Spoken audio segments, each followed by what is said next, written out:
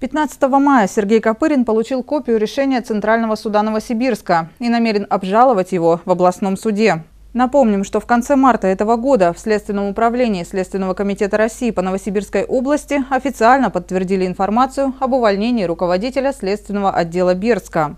Сергей Копырин подал иск об отмене дисциплинарного взыскания, восстановления на работе и компенсации морального вреда.